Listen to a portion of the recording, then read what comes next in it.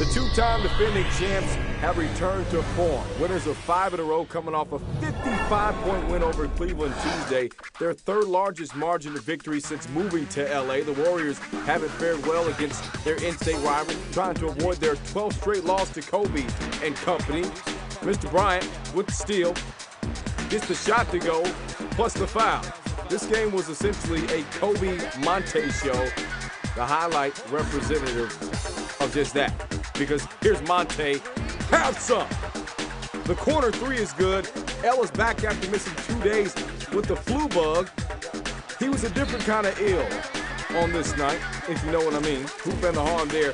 He made six of his first eight field goals and posted his 11th 20-plus point half this year, tied with uh, none other than Kobe Bryant. Second half we go. Here's Monta. Look at the move here. It's so easy a caveman could do. In this case, it was Monta. Getting the job done. Easy breezy. Kobe, anything you can do, I can do better. 13 points in the third for Kobe. Monta says, I see your Jay, and I'll raise you one. That one rattles in to beat the buzzer at the end of three.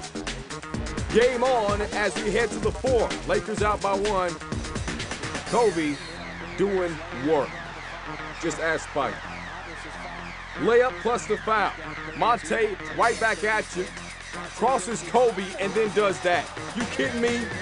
38 points on the night for Ellis. The 10th time this year he scored 30 or more. Lakers leading by three. Kobe putting some ice on this thing. Like a hurt ankle. 39 points, 17 of those coming in the final six minutes of the game as Lakers win their sixth in a row.